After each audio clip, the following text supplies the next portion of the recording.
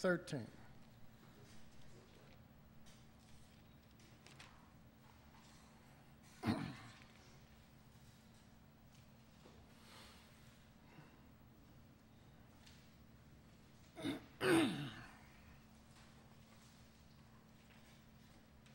Hebrews chapter 13 and verse, uh, beginning with verse 10. We have an altar of which they have no right to eat who serve the tabernacle.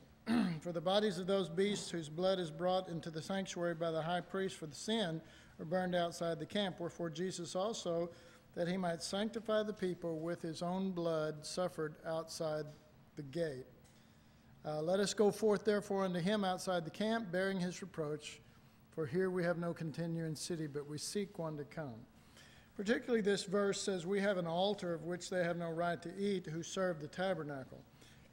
And there's two things to notice one is the altar, and the other one is the eating. and let's face it, many Christians acknowledge the cross. Um, and they, uh, they understand that Jesus died for them 2,000 years ago, and they understand that um, they're supposedly not going to go to hell but go to heaven and this sort of thing. But all of that relates to what Jesus did for, the, for them and has nothing to do with us except in terms of whatever benefit that we're going to derive from that. in other words, there's an altar, Jesus, and we understand that the altar was a shadow of the cross. It was a picture. The true is the cross. And so they understand the altar, they understand the cross, and they know that Jesus died for them. But really and truly, it, there is no effect in their life except in terms of maybe in the future they won't burn in hell or they, you know, won't be punished at that time or something like that. But um, But Jesus didn't just die, he died through, uh, it says uh, here in these scriptures even, that he, through the eternal spirit that he gave himself. And the eternal spirit is the spirit and nature of God, the way that he is eternally. The, so you can call it the Lamb Spirit. You can never use that term again and never mention the Lamb and still say that God is self giving in his nature. However, you want to, you know, the terminology is not really the important thing as much as to understand that the eternal spirit is a self giving spirit, and that's what he gave it through. And so the spirit that gave itself for others is the same spirit that we're supposed to um, eat of and partake of and have that life within us. And this is why Jesus spoke of the bread in the manner that he did. He could have used anything, but he used bread because, he, because bread represents his body and he's putting it inside of us so that we would be the body of his nature, the body of his self giving spirit. Or you could say it another way that we would be the body of Christ. it's all the same thing. Because we're not, a, we're not the body of Christ for no reason. Just like terminology is the important thing. No, no, no, no. We're the body of Christ so that he can express his self giving nature through us. And where, where's he wanting to do that? To the outcast, to the hurting, to the needy. and so, um, so we see that. So believing in the altar is one thing, but then we have an altar to eat of. And we see that true believing ends up again with eating. Not just believing in an altar 2,000 years ago, but eating and partaking of that thing right now. And so, you know, there is this this uh, understanding of faith in what happened a long time ago. And we dealt with this last class where we talked about Galatians 2, and verse 16 talks about his dying and believing in that a long time ago. But just four verses later is I am crucified with Christ. Nevertheless, I live, yet not I. Christ liveth in me, and the life I now live in this flesh, I live by the faith that I am crucified with Christ. Nevertheless, I live, yet not I. Christ liveth in me, and the life I now live in this flesh, I live by the faith that I am crucified with Christ. Nevertheless, I. You ever sang a song that you never could find an ending to it? You know, just keeps going. that verse, if you fully comprehend it right, will just keep you in the eternal circle of that reality that the, the purpose for, for crucifying us wasn't all just about sin, it wasn't all just about being bad. It was that God wanted to impart His life and nature, which is eternal. No matter how good you are, you'll never be Jesus. It'll either have to be Jesus or it'll be you. It's your best or at your worst, but it's not Christ.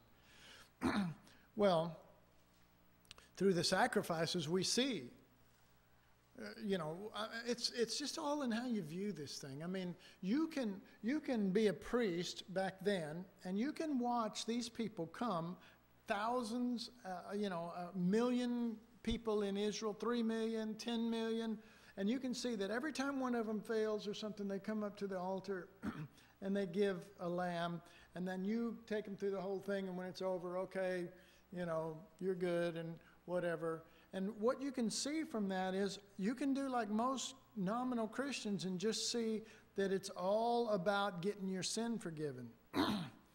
but the greater reality would be that a priest all of a sudden recognized, you know what? I think what God really wants is not them at all. He wants this lamb because that's what he keeps asking for. You know, I mean, one is to see, you know, God is a forgiving God, and He is. But the other one is to see what He really wants. And His prescribed choice is this lamb. That, and see, I mean, it could have been, you know, gentle Jesus, meek and mild, or the, or the miracle working Jesus or something. But it's always a lamb that dies. And, and what? Gives itself for somebody who really doesn't deserve it. You know? And how many here did, did you comprehend that Jesus gave himself for you when you didn't deserve it? how, can, how is it that we can comprehend that? And then turn around and condemn our brothers and sisters when they don't deserve it. You remember the parable Jesus told about the guy, you know, I mean, I won't go into it, but I mean, he told parables along this line to awaken us to the fact that we're putting demands on people, you know, that, you know, we're, we're, we're cashing checks that, that, you know, we're writing checks that we can't cash, you know, and we're putting demands on people that we can't do, that we can't live up to God's standard. But God does want Christ. And we'll never live up to that standard, but He will live up to it. But we've got to let Him be the life of the believer. We've got to eat from this altar, not just believe in this altar. We have an altar to eat of that they don't even know about.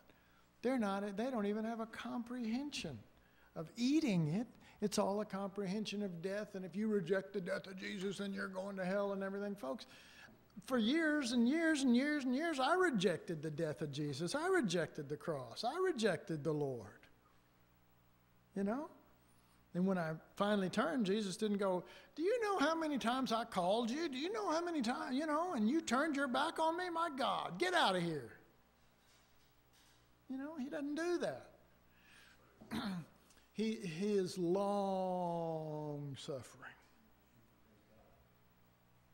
and He is patient. And all of that is not your fruit. Love and joy and peace and peace and you know gentleness, meekness, faith, kindness. You know all the, all of those things are not us, but they are meant to be in us. There's no denying they're meant to be in us. The problem comes with how we're going to bring that about. Are we going to be the old covenant saints that try to produce that when there is no hope we'll ever do it?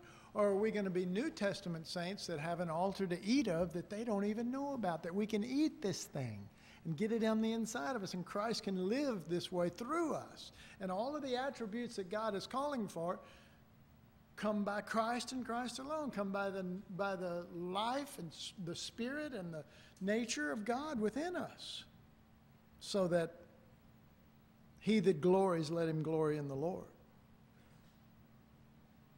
You know, and when you recognize that, there's nothing to boast in. There's nothing to look down. You know, uh, somebody gets hard headed or resistant. My God, I've been hard headed and resistant. I have been. And so it's like, how can I condemn that when I'm, I've, either I am the same way or I've acted the same way? You know? I mean, have some mercy. Blessed are the merciful.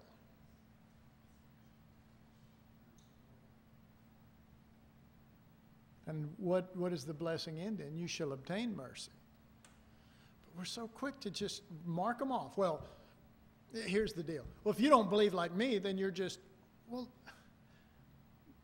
you know, that's ridiculous.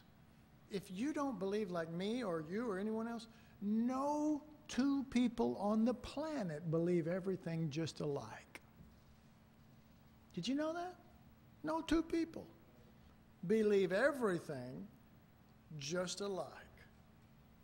So, no one has a right to say, if you don't believe exactly the way I do, then you're just marked off. Ridiculous, you know? Besides, we, when we'd say it like that, we've made it a personal issue. It's no longer about them and Jesus. It's about us and Jesus. It's about what we know. It's about our pride. It's about how people will relate. But, and will they not acknowledge that I am a great man a great woman of God and that I know a whole lot and that you should bow down and honor me? When you hear the sound of the sackbut and the dulcimer, fall down and worship me? You know? No, I'm sorry. If you're really a, if you remember Matthew, we talked about Levi last class. If you are a true communion priest, the only trail you have of Matthew's life is that book that points to Jesus and feed, not just points, feeds people to Jesus. John, they said of John, Who are you? I'm nothing, I'm nobody.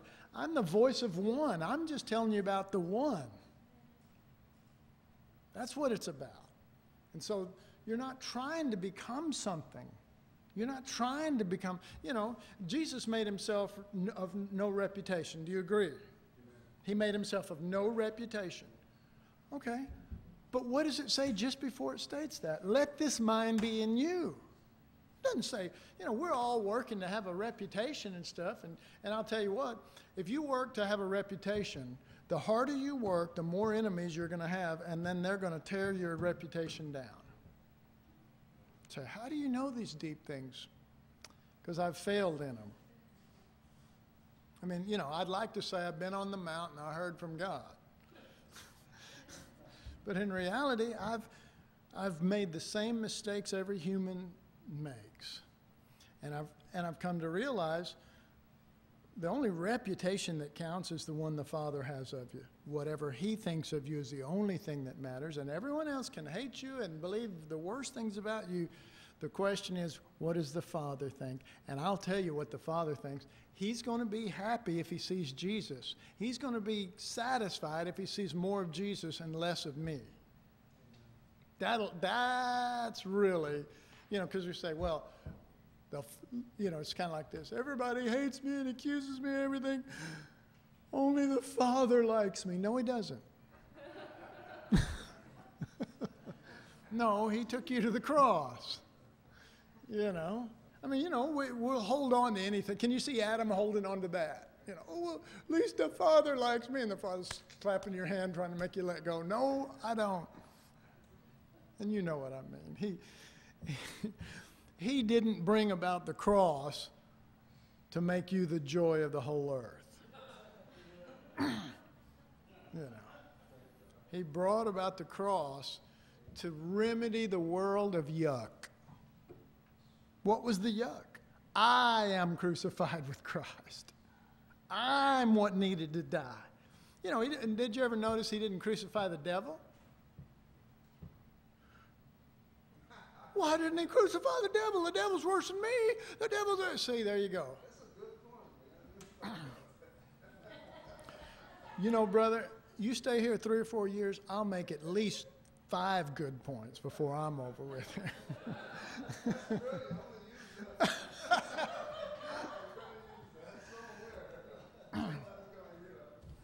Well, I'd like to say that I thought of it myself, but I have no reputation. It's, it's all God, freely I receive.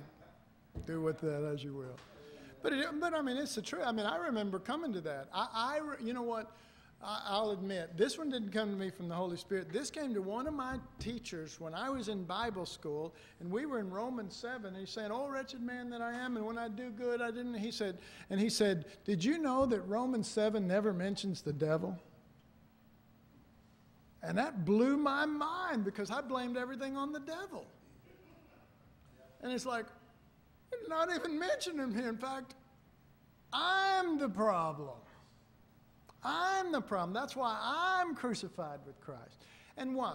Because when that old nature is crucified and Christ is put within us, then you've rendered the devil inoperative. He's, he can't work through Jesus. And Christ is your life. He's, he's, he's done. That's why the answer is Christ in you, the hope of glory. It's not, it's not getting rid of the devil and then, you know, and then putting us in a utopia so that nothing ever shows how really evil and prideful and selfish I am. You know, make heaven so utopian and the devil so far gone that, you know, I will look really good when I'm still a self centered, yucky person, but I won't manifest it because everything's going so smooth to my flesh. That's what most people think heaven is. That's their view of heaven. Heaven is going to be when God puts me in a place that I'll, no one will ever see how yucky I am. That'll be heaven. It's, to them, it's not, you know, when how yucky I am is crucified, dead, buried, and gone forever. That's heaven. And that would be wherever the Lord is, wherever the Lord is your life, wherever there's always hope in every circumstance as long as we can acknowledge the cross the way He acknowledges it and to embrace it the way Jesus embraced it and to, and to want to want the cross more than you want anything else. And I realized when I was in Bible school too, I, I, realized there's a lot of teaching going on about the cross, but, but a lot of my fellow students and stuff, I watched them, I watched their lifestyle and stuff, and, and they seemed to say they wanted the Lord, but there, there was just a lack of that fervor and going after the Lord. And, and uh, you know, I mean, and I'm not trying to lift me up here, I'm just trying to give one man's experience. I don't have everybody else's experience, so I can only give you a few of mine. But they, they made a rule where it was lights out at 10 o'clock in the dorm. Lights out at 10 o'clock. I was an adult. Had to be in your bed, in your dorm, and lights out at 10 o'clock. And so they put me in a corner room. At first, I wasn't there, and they eventually put me in a corner room, which was wonderful because I was able to open my window and open the screen out and literally hung halfway from my bed, halfway out and there was a street light right there, and I could search the scriptures up till midnight or one if I wanted to, and did, you know. And I remember some of the, you know, some of the students that were doing final things and stuff, they'd stop by and we'd get to share in Jesus, and we get to fellowship and pouring out the word and pouring out the life and everything. And, and uh, then I'd go, gosh, you know, I'm just trying to spend time with the Lord, and everybody keeps stopping by and wanting to share and everything. And I, you know, y'all get out of here, leave me alone. I, I never said that, but I thought it in my heart, you know, I just want Jesus. Ben and I were talking about this the other day, and, I, and the Lord said, look, if you'll pour out your life for others, then if you get five minutes in the Word, I will make that more real than, than five hours in the Word. I will bring to life and I will feed you me. But you're going to have to quit fighting for time to get me because that's a selfish thing. And, uh, you know, you know, in my mind up to that point, it wasn't selfish. It was, the, this is all for God. I hate these people. I'm trying to get to Jesus. What? Anybody catch anything wrong in that statement? I hate these people. I'm trying to get to Jesus. And, and I hate all the distractions. And I hate, you know, and, and it's, it was like this.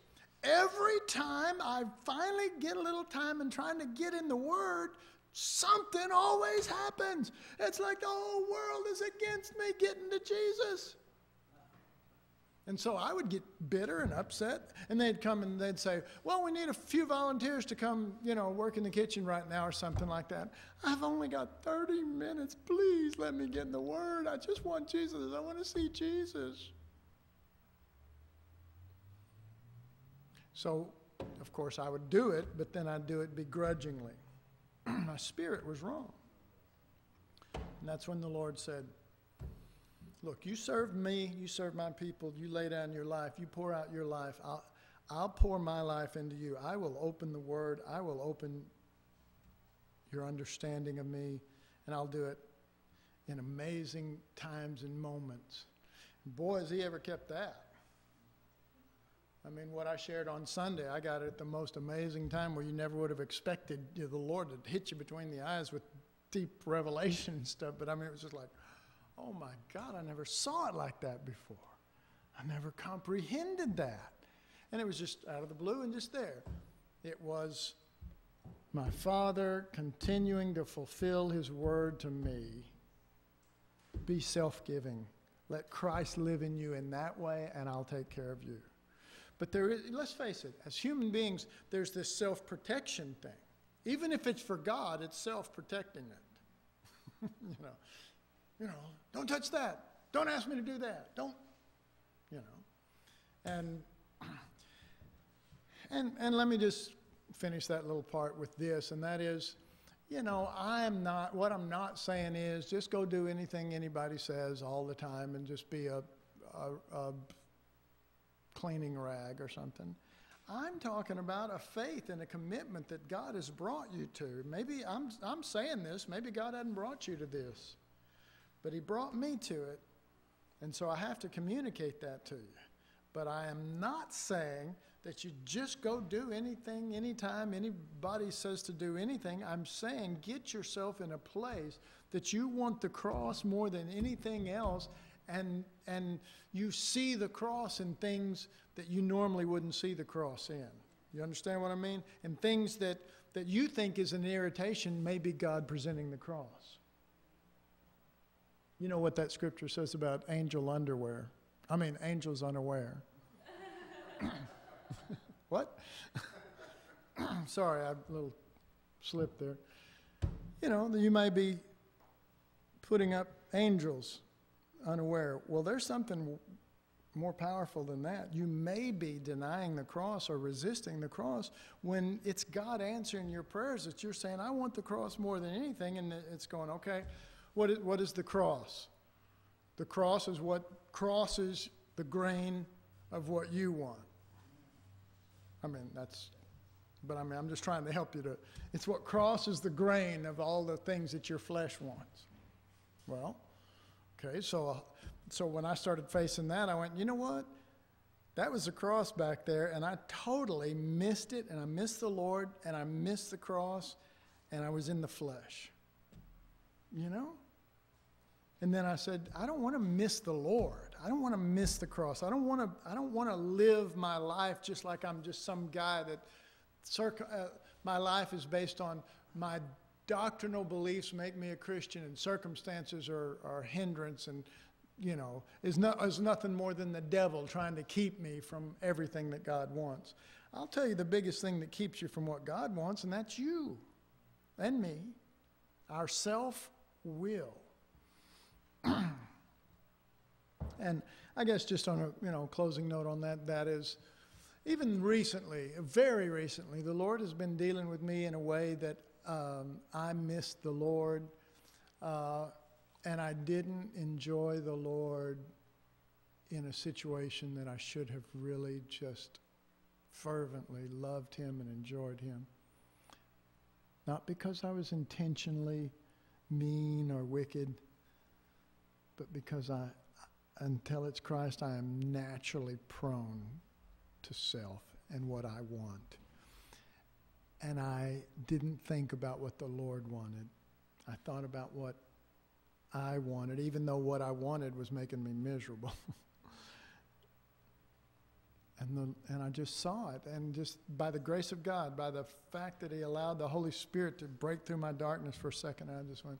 And it's almost like the Father, I could almost hear the Father saying to the Son, Look, if He knows this, He'll turn immediately. He just doesn't know it. You, you, you, know what I'm saying? I mean, because you want, you really do, you really do have a heart for Jesus, but we, we are violating things and not even knowing it. That's all I'm saying, you know. Not intentional, not because not we're mean, not because we're, but we're just, we just tend toward self.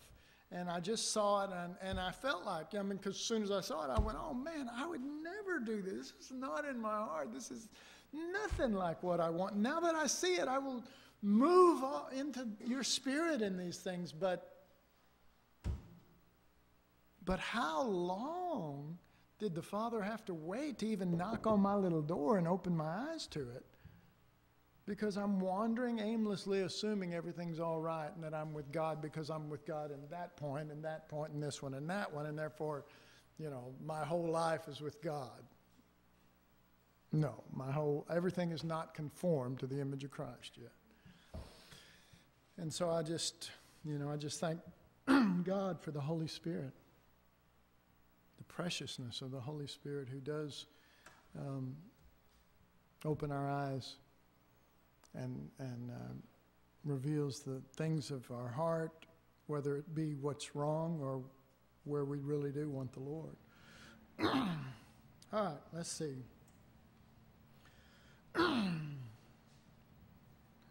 We are justified by the altar, his death. Remember, we're talking about uh, we have an altar to, to eat of, of which they know not.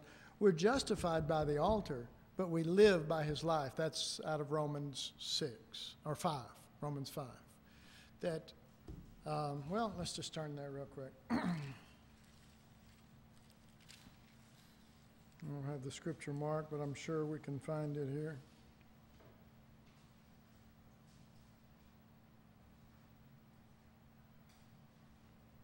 Verse 10 For if when we were enemies we were reconciled to God by the death of his Son, much more being reconciled we shall be saved by his life. All right. One thing you have to remember you can't read the New Testament scriptures randomly. You have to read them as a fulfillment of the old. Do you understand that? Because it is. It wasn't, Jesus didn't just come and do stuff or say stuff or have Paul say stuff. It was, it's all a fulfillment that we've come into the real. Okay? so we, we tend to read these scriptures in light of a religious concept of Christianity instead of in light of how we now live the fulfillment of what that was about. And what that was about was they had an altar and they killed a sacrifice, but then they also, in the peace offering, they ate the sacrifice. And that's what this is saying. For if we were enemies, we were reconciled to God by the altar. Then, that's not the end of it, see. Uh, much more being reconciled now that now that we're justified by the altar and everything, we will be saved by his life. And this is talking about eating his flesh and drinking his blood. We're not just saved by his life up on the right hand of God, folks. That's not what it's talking about at all. His life has always been with God. His life was always up there, other than 33 and a half years. You know? it is the life that we partake of. We are constantly, and one day I'll share out of Romans 5 what the Lord has shown me here. There's some amazing stuff right here in these scriptures. But it just, uh, I mean, right here, just in like verse 1 to 11. but if we have been reconciled, reconciled is what? It is the work of a mediator. Saved by his life or eating his flesh is what? Communion. You see? And so we've come into this place now where we're saved constantly from our own reactions. We're saved from things that could draw us and trick us and deceive us, traps and stuff.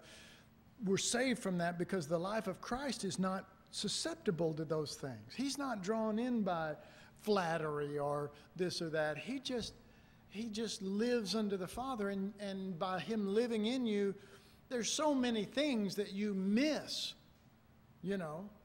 I mean, it would be nice if the main problems you ever had was persecution because the life that you live is Christ. And the main source of your problems wasn't susceptibilities of falling into this trap or, or, or giving into this or doing that because you're weak or you're, you're, you're going by your flesh or somebody's using flattery or somebody's using deception and you can't see it. And so most of your problems are the result of someone who's not living Christ. You're not saved by his life. You know you're justified by the cross. You know you believe in the altar 2,000 years ago. But your life is constantly needing sa- sa- salvation from these things, but it only comes by his life. And I don't want to live I don't want to live on this earth and spend all my time tripping and stumbling over all the stumbling blocks of the natural that I, because I can't see beyond it and I can't see the source behind it. Is that God or is that the devil? Is that flesh or is that demons? Is that, you understand what I'm saying? I, I, you know, I'd rather the main problems and hurts and frustrations be because it really is Christ.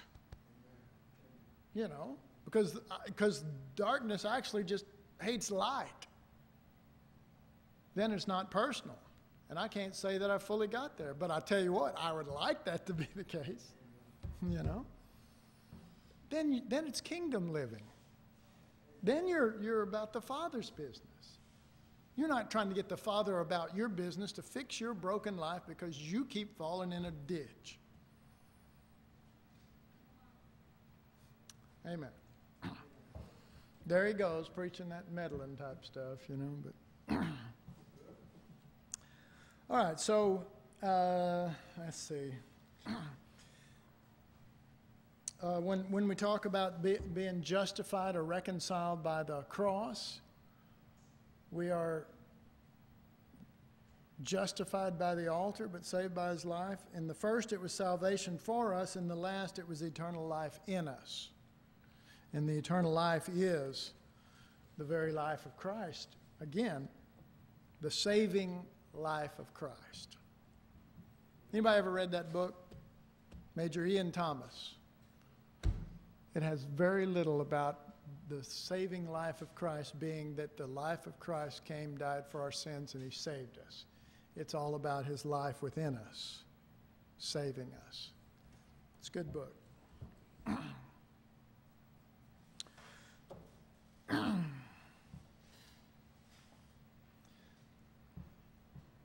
Just not sure if I should keep going here. Let's, uh, since we're, well, we're not we left John, but let's go to John 6 again.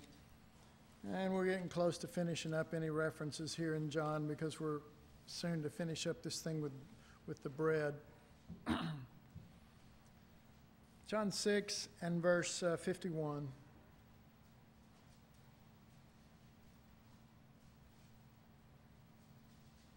Now, verse 51 is pretty long, so I'm going to read it and then I'm going to pull out what I feel the Holy Spirit wants me to focus on.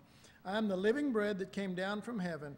If any man eat of this bread, he shall live forever. And the bread that I will give is my flesh, which I will give for the life of the world.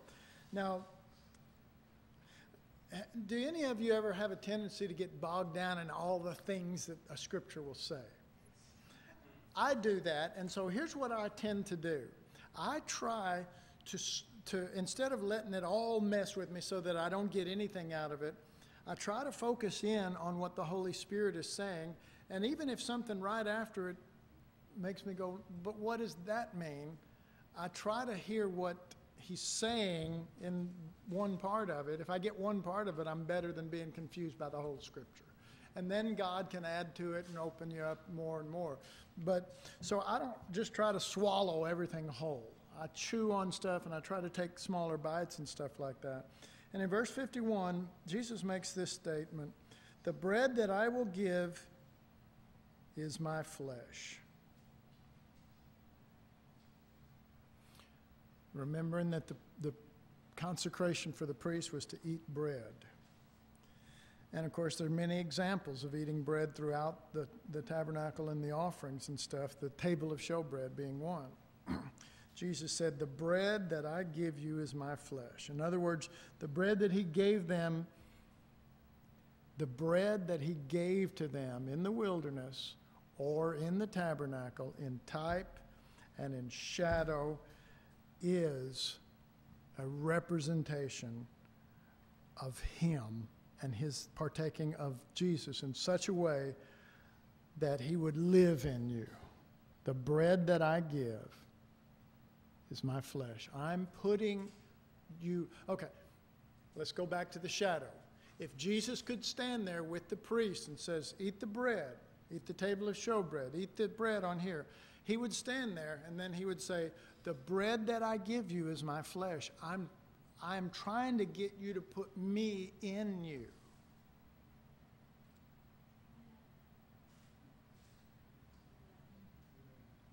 That's, I mean, because he could have used a lot of examples. I mean, think the vine, the branches, the bread, all this stuff is putting him in you. Even the vine and branch, even though you're connected, his life is the thing that flows into you. You know, he doesn't shove the whole vine in you with all of the you know, everything. He, he connects you to Him, and then He lets the life, the same life the vine lives off of, flow into the branch.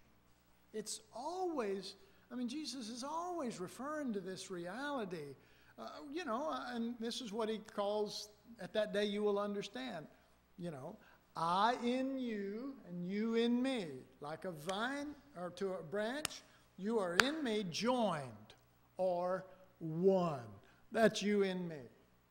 Now, I in you is me in you. What is the explanation of that? Me living in you. see. Well, we get, all, we get the altar. But we don't see that the bread that he's given is supposed to be his flesh, and we're supposed to be putting it on the inside of us and becoming one with him in that manner. So, let's see, I wrote, in other words, the bread that he gave them in type and shadow always represented eating and partaking of Christ in such a way that he would be in you, he would live in you. The, all, every shadow, every time he gave it, he said, This is Shadowland. This isn't it. This isn't the real. Here's what's in my heart.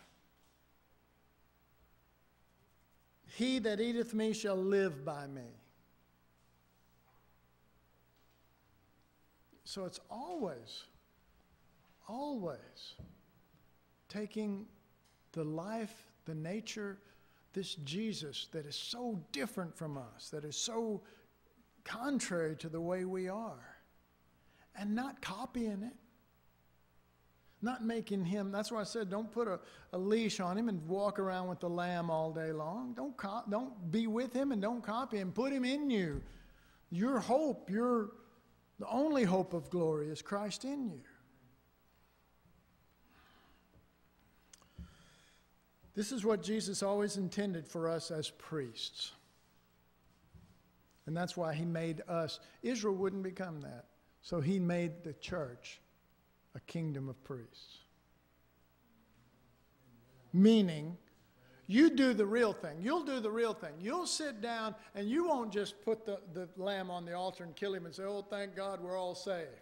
You'll do different than Israel. You'll eat it and you'll understand this is putting me in you so that I can live through you, so that I can fulfill all the heart desires of the Father and you by being your very life. now you're my priests. Now you're living as my priest. This, he would say, this is the fulfillment. It's either hallelujah or oh me. but guess what? This is meant to be the fulfillment. You know. And somebody says, Randy, don't you ever get discouraged because all this stuff you see in the Word, you see very little of it, people living outwardly. Well, yes. The answer is yes. I do get discouraged. But if it's in the Word, it's going to come to pass eventually. That's the way I look at it. I mean, I got to keep at this thing. I got to keep being a priest. I got to keep communion. I got to keep feeding communion. I got to keep giving people the bread and the wine. I've got to keep doing that. How else will we come to it? It won't come to it by me just falling down in a heap and going, "Oh, you ain't getting it. You ain't living it." You know, that's more or less throwing a fit.